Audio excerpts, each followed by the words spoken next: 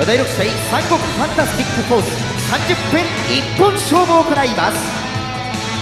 始まり青コーナーよりネキー・ベネットスキータアステカ組の入場です。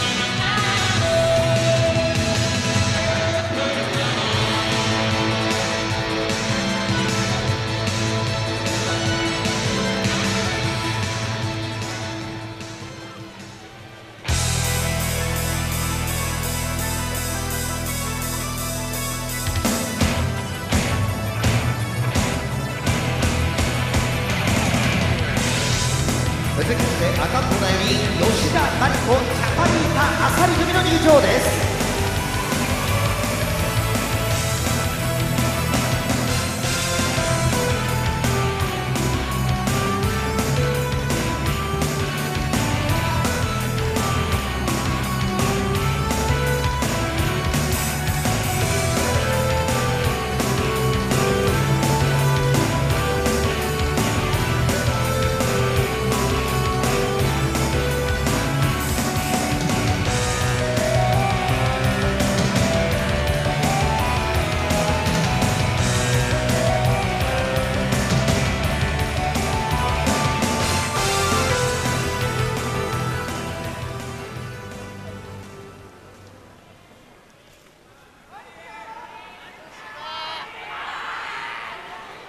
第6試合三国ファンタスティックフォース30分一本勝負を行います。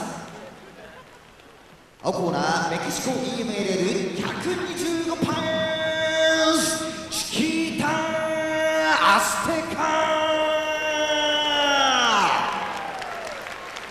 同じく260 pounds レジー・ベネ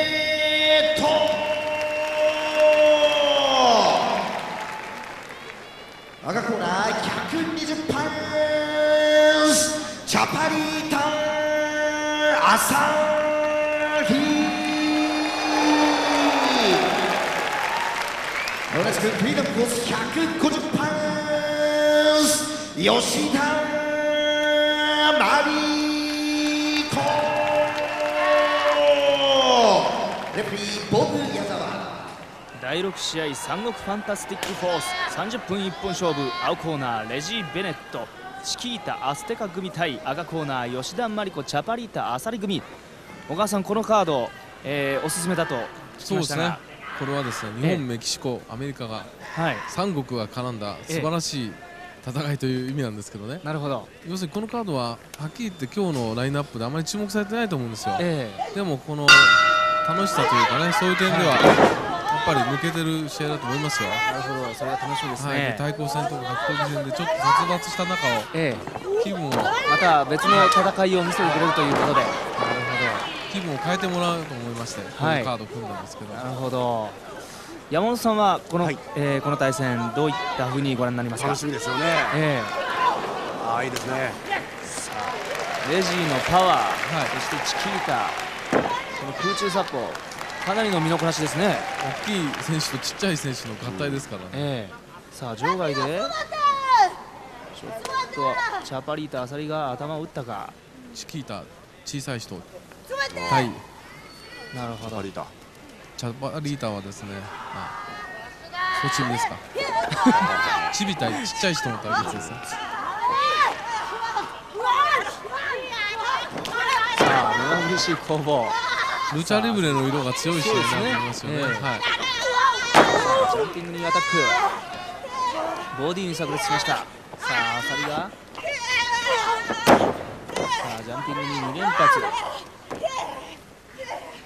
チキータとアサリはですね、ええ1.22大田区体育館で一回タッグで当たってるんですけど、はい。なるほど。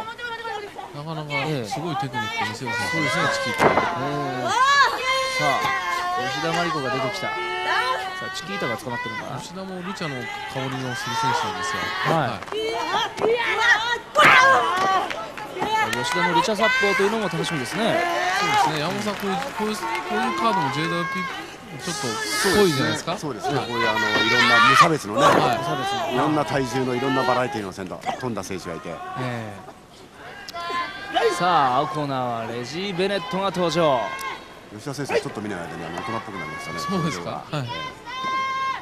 さあリング中央で力比べ。指揮所。レジーが。さあこの力比べはおお。そのまま押し倒していくレジー。さあ滞空時間の長いブレンバスターこれは強烈。レジーカウント1で返す吉田。さあリング中央でレジーは何を？おっと。また逆エビ型の体勢かレジはやっぱりこの他の3人が動くタイプですからね、ええ。自分のパワーを見せいでしたり構えて。すよねなるほど。110キロですからね。本音を言うとあまり小さい人とは絡い 絡みたくないと言ってましたね。あそうですなんか自分が攻めるのがなんかかわいそうになっちゃうって言うんですよ、はああなるほ壊しちゃう恐れがありますからね。はいどさあ2人がかりでロープに振って。おっと。おこれ。これはフォール。日本語ペラペラじゃないですか？はいねさあレジは吉田へと攻守入れ替わって。これはスペースローリングエルボーですね。いはい。とモンキーフリー取った。110キロを投げた吉田。さあドロップキック。迫力ありますね。すごいですね、はい。レジーが吹っ飛ぶ。さあ、シャバリタ・アサリレジーにどういった攻撃を見せるか。おっとこれはラリアット。あっと大の字だ。リング中央。大の字になっちゃいましたね。これは強烈だ。まさに無差別級の戦いですすねごいですね。さあチキがあこのミサイルキックうまいですねかなり技術者ですよ。さあこのバルガームスープレックスホールドまだまだチキータセカの本領発揮とは言ってないんじゃないです。か。うん何やるかねそうですね。はいなるほどそういった意味でエンジン全開になったチキータ。そうですね。楽しみですね。さあボディアタックはなかなか体柔らかいですね。おっとドロップキックはすかされた